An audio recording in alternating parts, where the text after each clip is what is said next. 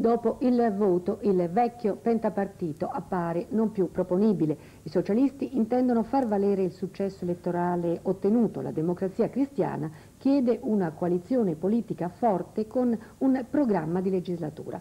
Domani si riuniscono la direzione liberale e socialdemocratica. Vediamo l'atteggiamento dei partiti laici in questo servizio di Corradino Mineo.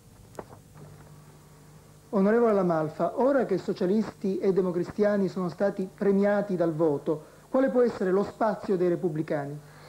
Ma vede, eh, bisogna vedere come socialisti e democristiani si porranno nei, nei prossimi mesi e nei prossimi anni, perché essi hanno eh, svolto una campagna elettorale aspramente contrapposta e anche i primi atti di questi giorni mostrano che non c'è un'intesa facile tra questi due partiti. Il ruolo e la funzione quindi dei partiti laici eh, rimarrà fondamentale perché su ciascuno dei problemi che il Paese dovrà affrontare le posizioni della DC e del PSI saranno molto conflittuali.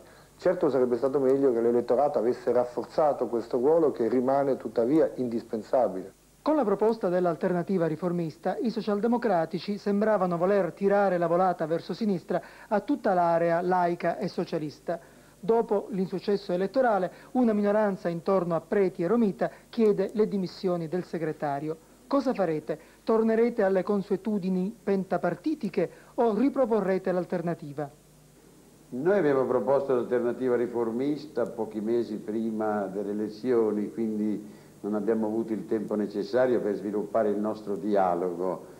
Tuttavia abbiamo avuto un risultato politico Nell'ottobre scorso avevamo auspicato un 20% alle elezioni ai partiti dell'area socialista, il 20% c'è stato, invece di avere noi il 4 o il 5% abbiamo avuto il 3%, ma il risultato politico c'è. A questo punto a noi non rimane che proseguire su questa strada perché siamo convinti che se si vuole dare un'alternativa a questo quadro politico che tutti contestano, solo attraverso l'alternativa riformista potremo ottenere questo obiettivo. I liberali hanno abbracciato i grandi temi della giustizia e dell'ambiente, però poi in campagna elettorale si sono trovati soli a difendere il pentapartito a fianco della democrazia cristiana. E per il futuro volete fare parte di una sinistra, come si dice, di movimento o vi riproponete alla destra dello schieramento politico?